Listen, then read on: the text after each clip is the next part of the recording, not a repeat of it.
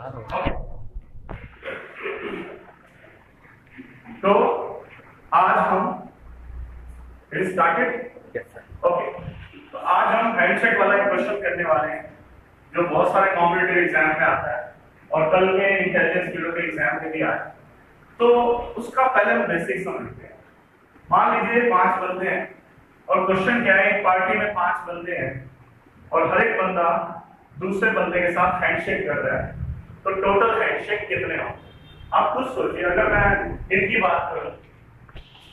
ये हमारे पास चार बंदे अवेलेबल है, अभी मैं चार बंदों पे ही करा रहा अगर मैं इनकी बात करूँ तो ये कितने लोगों के साथ हाथ मिला सकता है एक, दो, तीन।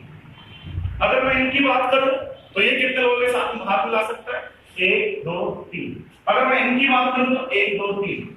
अगर मैं इनकी बात करूँ तो एक, दो, तीन। इस तरह से ये चार बंदे हैं, हर एक बंदा तीन लोगों के साथ हाथ मिला सकता है तो चार इंटू तीन ठीक है? हर एक बंदा तीन लोगों के साथ हाथ मिला सकते हैं। लेकिन यहाँ पे एक चीज़ की डबल काउंटिंग होती है।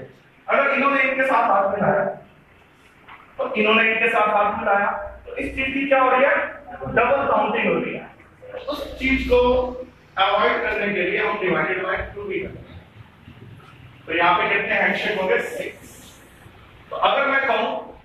कहूँ if there are N people in a तो नंबर ऑफ़ हैंडशेक्स कितने होंगे? N into N minus one by two तो जो कल इंटेलिजेंस ब्यूरो में पेपर आया।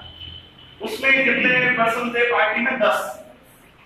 तो हमारा जो आंसर होगा ten into nine by two forty five तो जिन बच्चों ने फोर्टी फाइव लगाया था, उनका आंसर बिल्कुल सही था हम आगे से इस तरह से लाइव होते रहेंगे कई बार बीच बीच में। ठीक है जी? Thank you very much for your cooperation